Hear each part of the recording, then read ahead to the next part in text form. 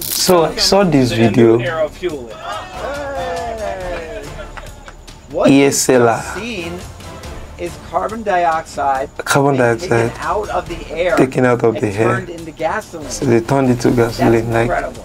incredible, right? Really incredible. Yeah. Never thought the smell of gasoline would smell so good. Good. There, there are many Actual- things to I can invent. it's Many, actual many things gasoline one can invent. This is the age of technology. This is the age of AI.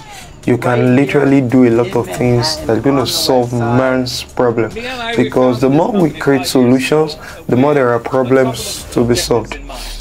I mean, First of all, we want Yes, to bring climate solutions into the hands of everyday people and away from from the opaque and obscure domains that we cannot see or touch.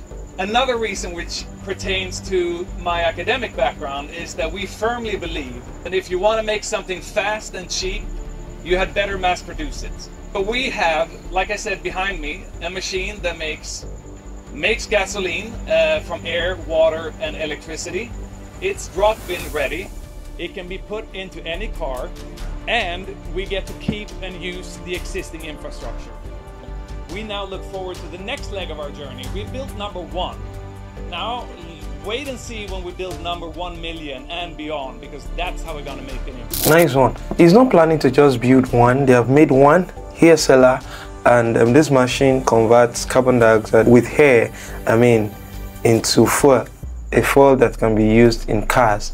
That's great. So they are planning to make it in mass, so everyone can have it. I mean, everyone can use it.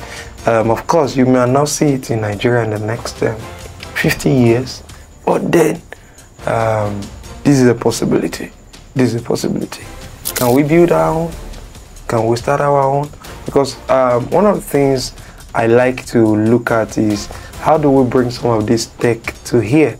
It's not about just seeing them, it's about using them. It's about using them to solve our own problem. All right, I'll see you on the next one. Catch ya.